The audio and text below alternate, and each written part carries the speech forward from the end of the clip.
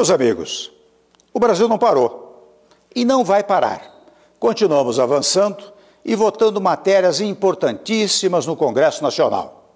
As manifestações ocorreram com exageros, mas deputados e senadores continuaram a trabalhar em favor do Brasil e aprovaram número expressivo de medidas provisórias sete em uma semana.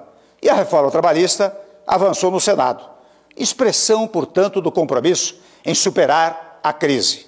Aprovamos matérias vitais para o país, como, por exemplo, a regularização fundiária.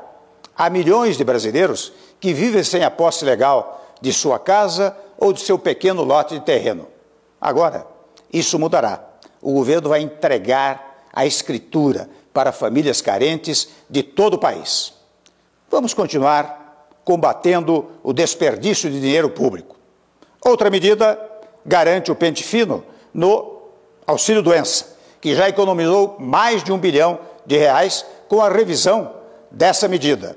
E vamos chegar a mais de 8 bilhões de reais, dinheiro que poderá ajudar o país a investir mais no social.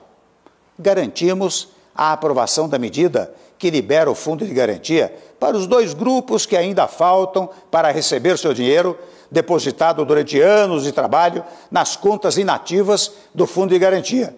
Portanto, mais de 40 bilhões de reais entrarão na economia, ajudando no fim da recessão.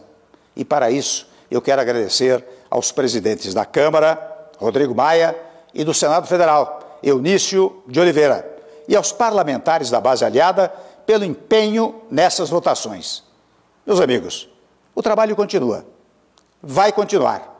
Temos muito ainda a fazer e esse é o único caminho que meu governo pretende seguir: colocar o Brasil nos trilhos. Portanto, vamos ao trabalho.